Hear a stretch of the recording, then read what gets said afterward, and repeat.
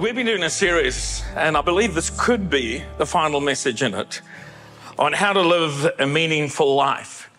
And it's on the proposition that one of the most culturally radical things you can do in our modern day society is get fully engaged in a local church. And we've been exploring in different ways what that actually means. And it's as Jesus' disciples that we're better together. We're better when we're caring for each other, loving each other, praying for each other, uh, bringing encouragement and support in whatever way we can.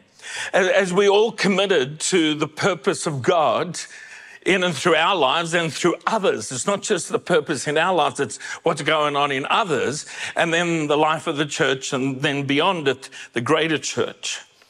And so I want to pose the question this morning on how can we help each other grow? Because throughout the New Testament, there's, there's incredible exhortations from the Apostle Paul to grow up into Christ. And it's not a solo thing that you're meant to do. Yeah, you've got to take responsibility for certain things in your own life, like praying, reading your Bible, turning up to church, engaging in the online campus, whatever it is. But then there's other things that we actually need each other to be doing. You doing it for somebody, somebody doing it for you that helps you grow in Christ. Because we really do need each other. That's one of the powerful messages out of the New Testament.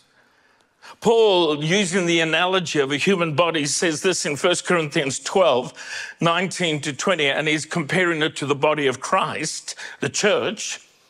He says, How strange a body would be if it only had one part. And you can see he's almost appealing to the ridiculous. What if the whole body was just one big eye? An ear, maybe in some instances, a tongue. I'm going to leave that one alone because I could get in a lot of trouble there. How strange a body would be if it only had one part. Yes, there are many parts, but only one body. And the eye cannot say to the hand, I don't need you. And the head cannot say to the feet, I don't need you. And he's making this powerful statement that as the body of Christ, we need each other. And our spiritual growth and our spiritual health is tied to how connected we are to others. If you were to go outside and pick a tree, cut a branch off it, I'm talking about a younger tree that's growing, cut a branch off it, you and I know what would happen. The tree would continue to grow towards maturity. The branch initially, while looking still alive, within a day or so is going to show signs of death because it's no longer connected to the tree. And it's the same thing when people try to do Christianity, following Jesus all by themselves. And I know we've had a lot of things happen in these last few years that have forced us into isolation and different things and maybe being a little more disconnected. But we've managed to bridge that through our online campus, through other things. But it's got to be more than just that. Growth depends on connection. Paul says in Romans 12 and verse 4 to 5, just as our bodies have many parts and each has a special function, so it is with Christ's body. We are many parts of one body and we belong to each other. You can turn to the person next to you and say, You belong to me. A little bit of pidgin English. Uh, Ricky will tell me how good or bad that was after the service. Just be gentle. Then again in Colossians 2, and I want to notice, we're reading from Romans, Corinthians, Colossians. This is a constant theme with the Apostle Paul. Colossians 2, verse 19. He says, the whole body supported and held together by its ligaments and sinews grows as God causes it to grow. He says, in the connection, in the linking together, God produces growth. And so again, I pose the question how do we help each other grow? And if we really believe what Paul has been saying in these passages, that should be a question that's at the forefront of our minds. In terms of the people that I know who follow Jesus, what can I contribute, invest in their lives that will help them grow? And what can I receive from them that will help me grow? Not just trying to do it all in isolation. How can God use me to help other people grow? In 1 Thessalonians 5 and verse 11, he says, Therefore, encourage one another and build each other up, just as in fact you are doing. Encourage one another, build each other up. And then he commends the church of Thessalonica. He says, You're doing it, but I'm just kind of reminding you because this is important. And there's a whole list. In fact, I had to cut out whole chunks of points. I had more points than a porcupine. And you'll be thankful that I've reduced it to three. But how do we encourage each other to grow? And there's others we can add to the list, but I think these three kind of anchor most things. The, the first is by affirming each other's worth, value, as someone who is in Christ. In fact, even, and I don't mean this in a lesser sense, that their humanity, created by God, placed on the planet in history at this point in time. And we all need affirmation. People do extraordinary things just to want to belong to a group. They'll do criminal things sometimes, foolish things, because it allows them to belong and to be affirmed in some way. I'm not recommending that, not even at youth. Danny, Scar. There's some good things going on in youth. So, the first thing that we do to affirm one another is we do it with acceptance. In Romans 15 and verse 7, where Paul is getting really practical after going through a whole lot of incredible theology and understanding about the significance of what Christ has done for us, he says, Now you've got to work this out. And he says, Accept one another then just as Christ accepted you in order to bring praise or glory to God. Accept one another. The, the, the, Greek word there can also be translated welcome or receive. Accept is accurate. So accept by welcoming and receiving people, you affirm their worth. We think our world is divided today politically, all sorts of things, and it is. Uh, I don't know about you, at times it grieves my heart just to see how human beings on the planet, so called in an enlightened age, still treat each other.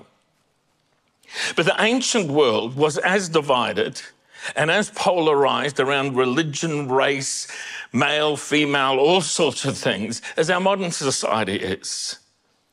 And in Jesus' name, he, his disciples simply transcended the hatred. It, it, one of the emperors who hated Christians remarked on how they love each other. It stood out. And the, the early church transcended the hatred and the, the, the differences by acceptance and welcoming and receiving people in to their fellowship, people who are committed to following Jesus, no matter what their background, no matter what their history. And perhaps Paul has in mind that once he was a persecutor of the church, but he was actually accepted and welcome. A little hesitantly at first, as you would understand. They wanted to know that he really was following Jesus. And that's the uniqueness of the early church, and that's the uniqueness of the church. It should be the, one of the things that marks us. The inclusiveness of people and welcoming them in as they seek to follow Jesus. They knew Jesus, the very Son of God, had accepted them in their brokenness and in their sin and had brought forgiveness and clarity and was allowing them to grow through things. And so they accepted those for whom he had also died. The second thing is to appreciate the differences in each other. And sometimes we find that difficult because somebody doesn't do it the way I would do it, or doesn't do this the way I or you would do it. And sadly, with all the language of acceptance and inclusivity that goes on in our society, it seems to me that some of those differences are actually used to create divisions and become quite vicious on occasions. And God didn't make us so uniquely different. I'm talking about the sheer diversity of even those gathered here today, whether you're talking about your, country of origin, your age, your whatever. There's just this incredible diversity and ought to be celebrated, and I believe it is in this church. And not used to create divisions. God didn't make us different so we could be distant or divided. And a hatred for diversity doesn't reflect the love of the one who created it in the first place.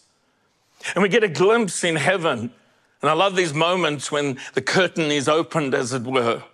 And without getting too panicky about the book of Revelation and the Antichrist, it's more about Jesus and what he's up to when evil is seemingly prevailing on the planet. But he gives us this glimpse, Revelation 7, verse 9.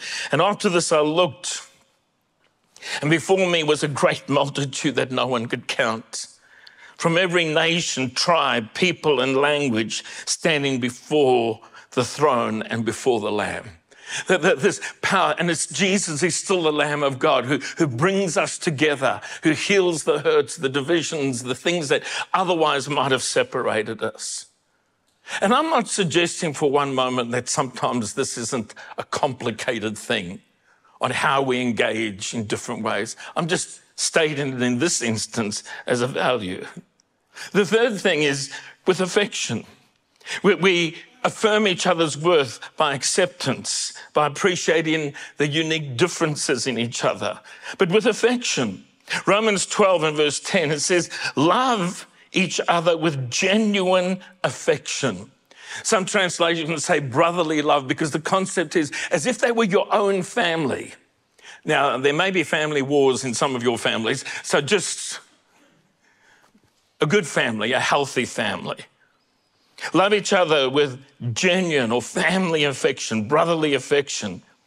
And take delight in honoring each other. In fact, literally, the phrase could be translated outdoing one another in showing honor.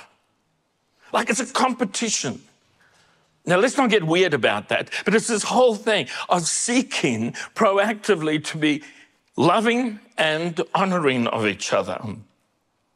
And loving with affection and preferring and honoring is important because they actually reflect our new nature in Christ. We are born again. The old is passing away. The new is beginning to grow through us in Christ. It's actually our new DNA is to be more like Jesus in the way we interact with people.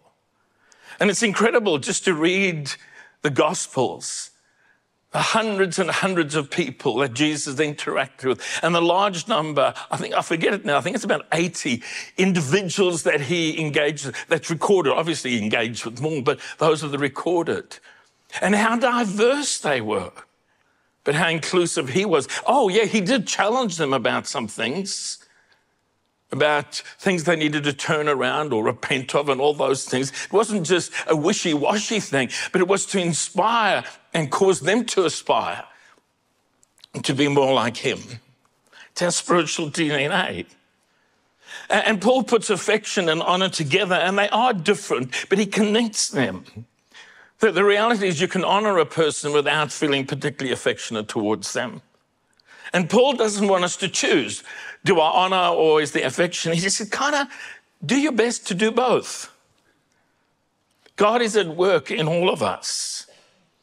And I think what he's saying to us, instead of pointing out the faults in people or reminding ourselves of what we don't like, he says, look for evidences of grace in that person's life. Because we all come broken in some way. We all come struggling with something.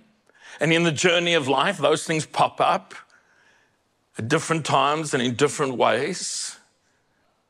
And he says, but look, not for the negativity. And, and obviously, there's some things that need to be challenged and need to be confronted, but it's in love. He says, but go looking for the evidence of grace in someone's life where God is at work and there's something, there's a softness in their heart towards that, and God is working.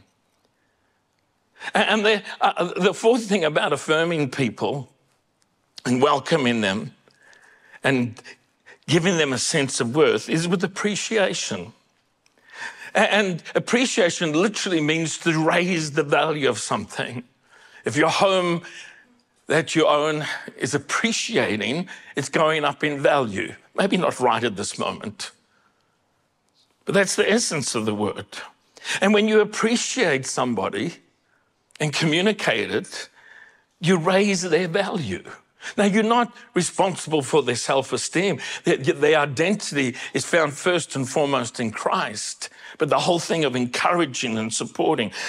1 Thessalonians 5 and verse 12. Now, brothers and sisters, we ask you to appreciate those who work hard among you and who lead you in the Lord and teach you. I want you to know that appreciate those who work hard among you.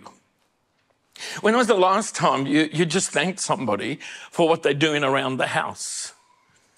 Every single Sunday, in order for the service just here to flow, and I'm just talking about this one, there's close on 70 volunteers, and probably more when we include Kids Church, which we do. So about 80 people. The coffee shop, the, the teams that are controlling the, the, knobs and the buttons that they love to fiddle with back there. And I'm going to be very nice to them because they can turn me off. And the ones up in the, doing the live streaming and the cameras and the musicians and all the welcomers. It's incredible. And the thought of just thanking one of them for what they've done today to help you enjoy God's presence, hear God's word the people in the serve teams that make such a difference. I love something that W.A. Ward said. He said, feeling gratitude and not expressing it is like wrapping a present and not giving it. And I thought that was such a powerful statement. Because often we feel appreciation, gratitude, but just finding somebody to say, really appreciate or thank you for what you did today to contribute to whatever it is. Feeling gratitude and not expressing it is like wrapping a present and not giving it. And that gratitude is actually a spiritual force that empowers you and others to live bigger, to live bolder, to be more faithful as we, we seek to glorify the Lord Jesus Christ. The story of the 10 lepers that are healed. Luke's rendition in Luke 17 and one of them, so Jesus encounters these unclean, they isolated from society.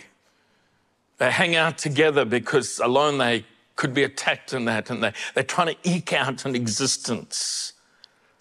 And Jesus says, Go show yourself to the priest.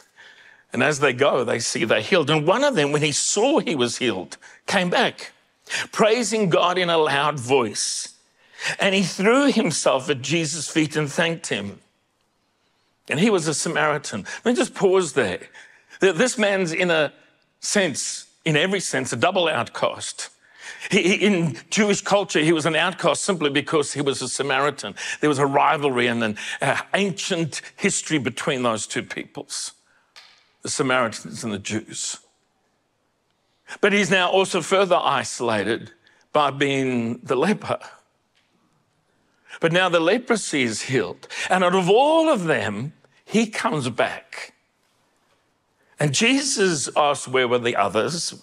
Weren't there 10? And, and then he said to him, Rise and go. Your faith has made you well. Some translations say, Your faith has made you whole. And there's this difference between healed and made whole. And Jesus extends something to him because there was gratitude, there was appreciation. The word well or whole there means to save, to deliver, to make whole, to bring healing. And so we can help each other grow by affirming each other's worth in the ways that I've mentioned. We can help each other grow by encouraging each other's commitment to Christ first and foremost, and then to engagement in a local church. We need others in our lives to encourage us. Paul, Paul, writing to Timothy, says that really following Jesus is a process where you're training yourself to be godly. Just listen to this in 1 Timothy 4 7. And it says, Don't waste time arguing over godless ideas and old wives' tales. Instead, train yourself to be godly. Now, I don't know if any of you, I know there are some of you, and this is not going to get personal, relax, have actually committed to some serious physical training. And you start over the, the noblest of ideals, and then it's kind of, as winter comes, it's harder to get out of bed and all the rest of it, you know, the, the thing. But if you're doing it with a group and you know they're waiting for you, you're suddenly slightly more motivated. Or if you get the text message, where are you? Oh, my alarm didn't go off, which means I really didn't set it. but you know what I'm saying? Uh, that just the, uh, the added group actually moves you towards something. And training is always easier when you're doing it with others. In Romans chapter 1, verse 11 through 12, Paul says, I long to see you.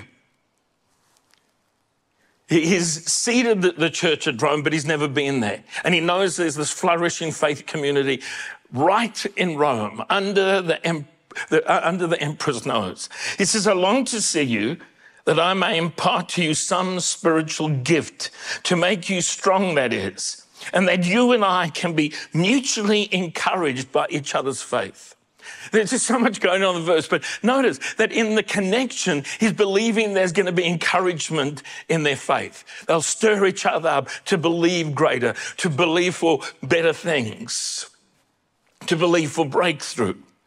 But it's also, he says, when I come together, there's going to be an impartation of a spiritual gift. And I think some of us read that and we go, oh, yeah, the apostle walking in amongst these people, imparting spiritual gifts.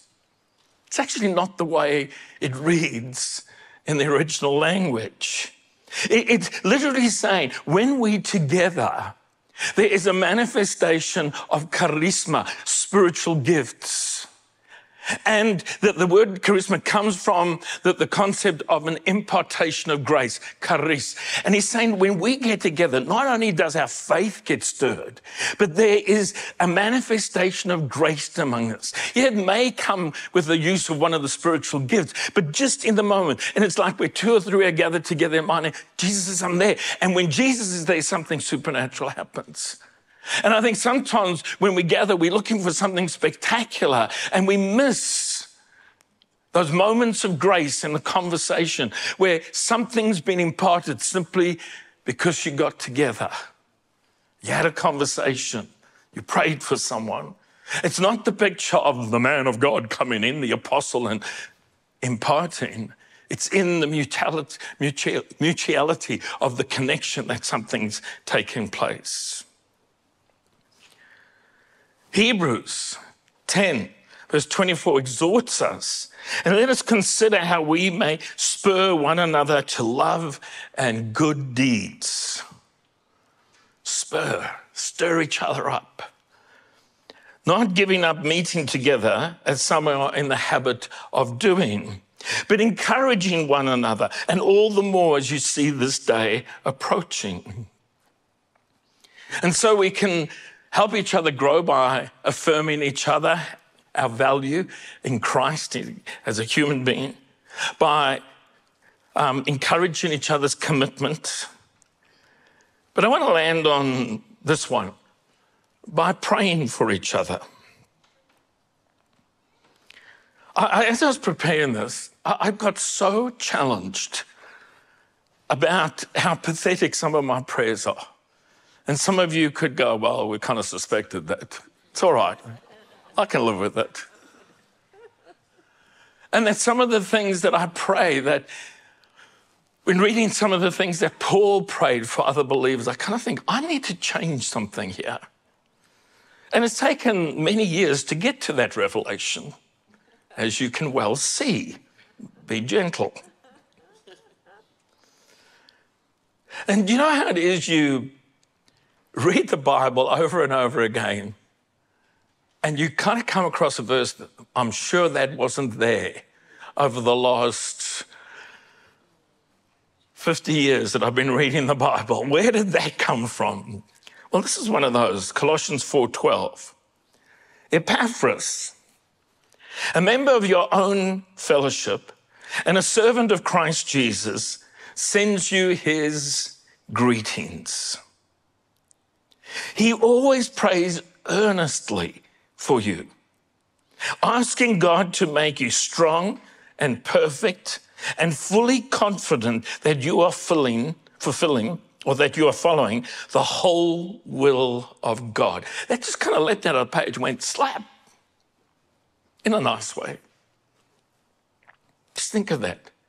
Epaphras in the church at Colossae,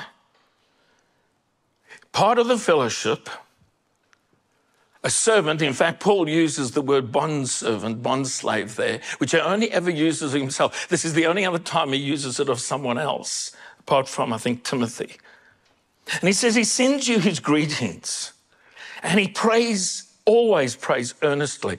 That literally, it's the same word there, earnestly, that is used of Jesus in the Garden of Gethsemane when he agonized, making the choice, nevertheless, not my will, but yours be done. He says, This God agonizes. He puts some energy into prayer. And what he's praying is that God would make you strong. Be careful with the word perfect. It means to be complete, and our completeness comes in Christ. Not perfect as we, we never get anything wrong. And fully confident that you are following the whole will of God. I think I need, we all needed Epaphras in our life, don't we? In this conclusion to the letter, Paul lists 10 people who are investing in his walk with Jesus and encouraging in his ministry.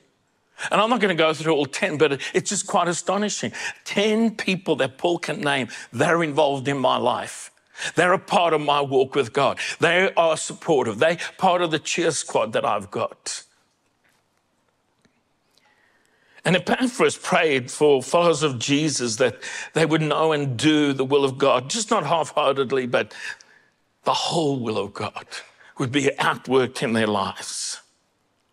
And so when I ask the question, and I'm asking it honestly for all of us, who's praying for you? And who are you praying for? And along with Epaphras' prayer about the will of God, I've just lifted out a few. I'm not going to spend too much time on them except to read them. But Ephesians 3, Paul is praying for the church at Ephesus. He says, I pray that you will be able to feel and understand how long, wide, deep, and high Christ's love really is, and to experience this love for yourselves. What if on Monday we prayed that prayer of everybody that comes to mind in our family, in our friendships, in our points of connection, that they would experience and come to know in a deeper, wider way Christ's love. Hebrews 13 12. May God equip you with every good, sorry, may God equip you with everything good for doing his will and may He work in us what is pleasing to Him. What if that was the Tuesday prayer for those people who come to mind and come to life and we're praying it over them? You can pray all of them every day. I'm just trying to make this bite size and reasonable. Well, what if Wednesday Ephesians 1:17 was the prayer we prayed for each other. I keep asking the God of our Lord Jesus Christ, the glorious Father, that he may give you a spirit of wisdom and revelation so that you can come to know him that is Jesus better. We're praying that. God, give us revelation so we can get to know you and get to know Jesus better. And Lord, give us wisdom with that. What if that was the prayer? Well, for the next day, we prayed 2 Thessalonians 3 5. May the Lord lead your hearts into a full understanding and expression of the love of God and the patient endurance that comes from Christ.